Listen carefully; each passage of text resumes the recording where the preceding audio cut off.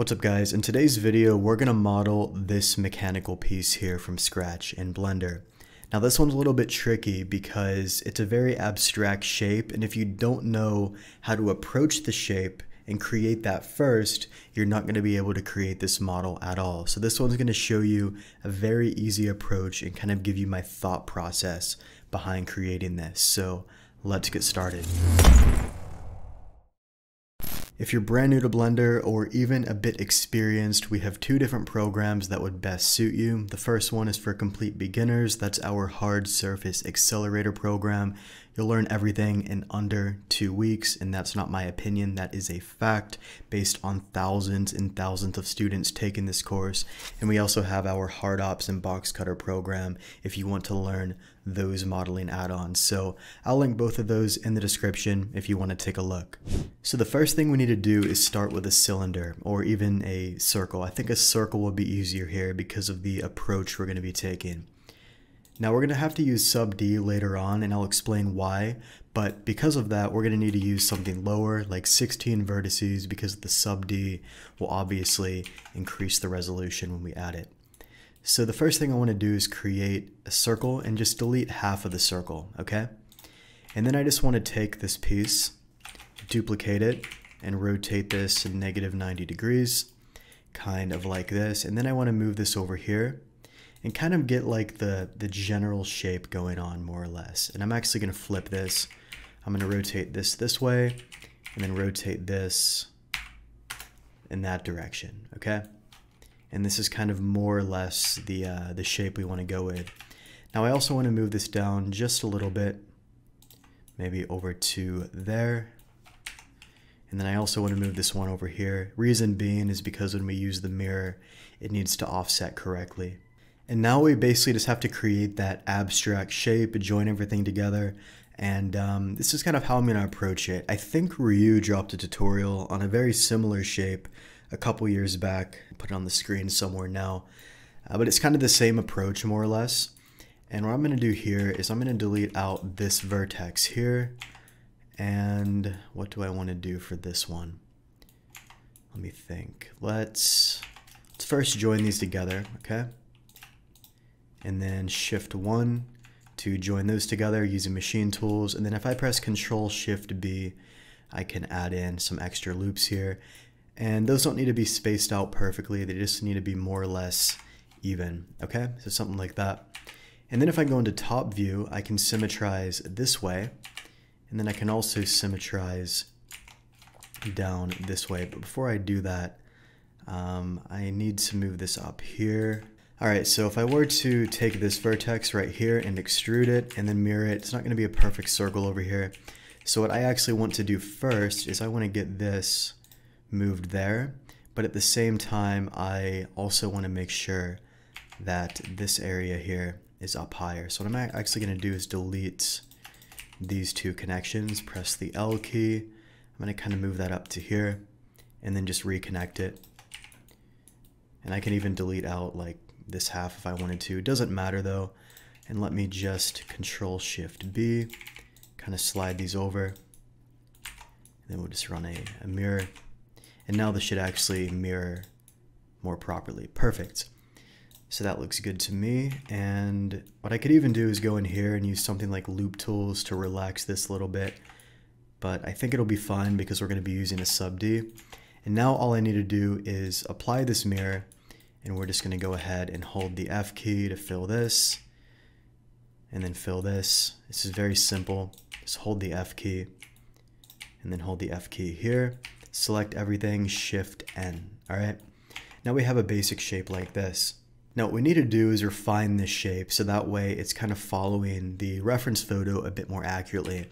So the first thing I'm going to do is take this entire area, E to extrude, I might even expand that selection a little bit. We'll kind of go E to extrude here and kind of move that over. And then notice how it's kind of curving down more or less. So what I'm going to do is I'm going to dissolve that one and then maybe dissolve this area here because what I want to do and then delete this area what I'm going to do here is fill these two okay And then all I need to do is connect up these two areas over here. So I might even just double tap G to slide that out a bit more. And then I'm gonna add in a loop there, add in a loop here. And just to make that even, I'll add in two loops right there, okay? Now literally all we need to do is select these, shift one with machine tools or M, merge at center until these are all connected and then just get that symmetrized over and get that dissolved. And we could even use a mirror modifier just to get the bottom cleaned up and then just dissolve that out. Actually, we can leave it. Okay, so now we have something a little bit more, you know, following the, the design more or less. Now what I might do is come in here, kind of move that down. So it's kind of uh, having like an even transition, I guess you could say. And let me go ahead and just dissolve that out again. Add the mirror first, get that dissolved, just like that. Okay, now we have something a little bit more like following this direction. Now, in the reference photo, this area is a little bit elongated. So I'm gonna take this face, press the O key for proportional editing, and then we're just gonna can take both of these and then just basically scale this a bit on the Z. Could even move that in a bit, just so we have that type of effect going on, which is exactly what I want. All right, and then what I'm gonna do is just add in a loop here, join that up. I can just disconnect that. And just to be able to use quick symmetry, I'm gonna reset the origin to the geometry, get that moved down. Okay, that should be fine. And then notice how on the reference photo, there's almost like a little cylinder. I'll get it highlighted on the screen, but there's kind of a little cylinder in the opposite direction once again. So what we're gonna do here is we're just gonna go in, gonna add in a cylinder, do 16 vertices, rotate this, scale this down a bit. And all I really want to do here is dissolve all of this or delete it rather. I'm going to move that right to about there, scale this up, maybe scale that a bit on the Z, and just kind of get that placed, you know, roughly in the correct location. And now all I need to do is go in here and just delete out this junk. So we're going to go in, just delete these faces completely, join these together, and then as you might expect, we can just do some quick joins. It's very simple. And then just get rid of that. I'm gonna fill that in, okay? And then what we can do is just get this whole area filled as well. I think the quickest way would just be to fill this and then literally go in here and then just join these together like so You could slide that if you want it to be more even, but it's really not a big deal. And then just symmetrize to that side. And now we kind of have, you know, that connection over here, kind of, it's kind of what I was going for basically. All right, so now what we need to do is run a sub D. Now before I do that, I just noticed that's not connected there. Let me just fix that. Okay, and this all looks good to me, except this area is a bit, bit of a mess. Just merge that over. And there we go. So now we basically have the general shape that we're going for, all right? Now what I'm gonna do is add a sub D, but I don't want the edges to collapse like this. So what we're gonna do is we're gonna go up here to select sharp edges, and then we're gonna right click to mark a crease, make sure that's set to a value of one, and I don't want this creased right here, just the outer edges. So you can always go in and reduce that to zero. Okay, and now if I run the sub D with a level of 1, it's going to hold those edges for us, all right? So I can right click to shade auto smooth, and we can just apply that sub D. And make sure you save your scene, by the way, in case of a crash. So we're going to go in, apply that sub D, now we have a higher resolution.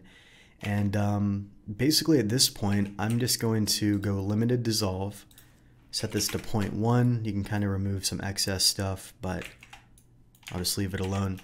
Anyways, what we're going to do here is first adding the cylinder. And now that we've used the sub D and whatever to create the shape, we can go back to our higher poly cylinder. So I'm going to rotate this here. we're going to run a different difference boolean there. Then we can duplicate this cylinder, do the same thing to this area. I'm going to kind of scale this up like so. And just keep duplicating these. We can reuse them pretty easily. Make sure you press Shift D to duplicate. Then we're going to run a boolean over here. Just like that, and then we're going to run one more boolean over here in this area. It's going to be a lot smaller though. And actually, before we do that, just delete that. What we're going to actually do is add in a cube and just get in here. Just run a different boolean over there, pretty simple. All right, and then we're just gonna do one more. We can use an ever scroll to recover this cutter and then just duplicate it over to this side.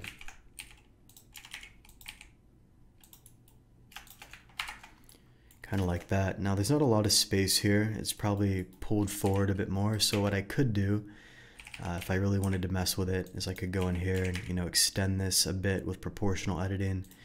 Depends how, you know, much you want to obsess over it, but you could do something like that.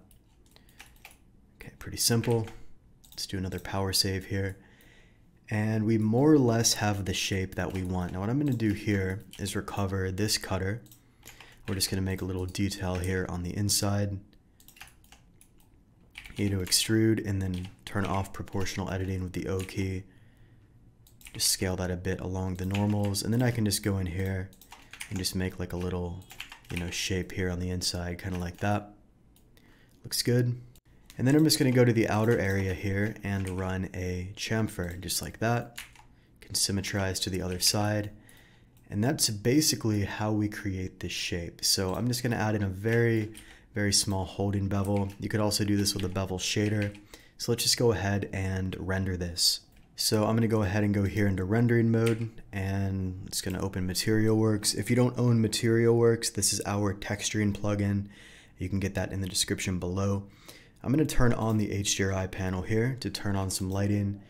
And then basically I'm just going to give this piece like, uh, like an aluminum, basically. All right, and then all we're to do is add in a plane. Just to scale that up right? We already have like a pretty nice looking result here. For now, I'll just keep the floor this white color here. It's fine. And you could also just use like a basic material because it's just to be for the floor. It's not a big deal. All right, so now what I want to do just for fun, I'm to turn on this bevel shader so that way we have a nice bevel on the object. If you don't like the way the aluminum's flowing, you can also go in here to transform and get that rotated the other direction. You can kind of see what that does put that back to zero, it's going to flow in the other direction. See what I mean? So, you know, complete customizability, customization, whatever the word is. And now what we're going to do, just for a little bit more enhancement, is we're going to add in some wear and tear. So with MaterialWorks, you can actually go in here and turn on this wear button, which is pretty cool, and it adds a wear and tear. Now for this particular object, especially in the reference photo, the wear and tear is going to be on the edges, on the convex area. So what we're going to do here is we're going to set this to edge, and that's going to constrain it to the edge. And uh, we don't want dents, you're not going to really see too much. We're going to instead just use some scratches here. So we'll turn on scratches, and you're still not going to see too much, and that's because what we need to do here is we need to increase the samples a little bit, just a little bit higher, and then we also need to just kind of mess with some of these settings here. You can also increase the width, and once you increase the width, you're going to see it kind of expands along the edges. So if I zoom in, I know cycles is a bit blurry, but you can kind of see that expands along the edges pretty nicely. So you can just add that for a small visual effect. We also have other scratches in here you can choose from. Basically, you would just go to variation B, get like a different variation. One thing we do need to update is uh, so it retains the settings. We're hopefully going to get an update out for that soon. But either way, it's not a huge issue. And now you have this nice wear and tear effect kind of on the edge of the object, which is great. So now all we need to do is just do a very simple render. I'm going to press Shift A. I'm going to go to Camera, View, Align View, Align Active Camera to View. And I'm just going to leave this on 50 millimeter focal length for this particular render. Just kind of get that set up. If you've seen my videos before, you kind of know my rendering process is very, very simple. Not doing anything crazy. I think this looks better at a lower focal length in my opinion. You can just kind of get that nice and set up.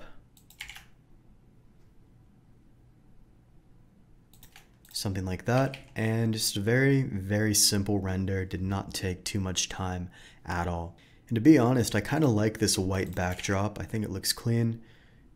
I might even keep it a little bit higher so we have that nice shadow. It just kind of depends like how much of a shadow you want. It can kind of enhance the render a little bit in my opinion. So there's a very simple render, nothing crazy. And the last thing I'm going to do here is just rotate the HDRI a bit. You can try like 90 degree increments. Sometimes you'll find, you know, different positions look a little bit better.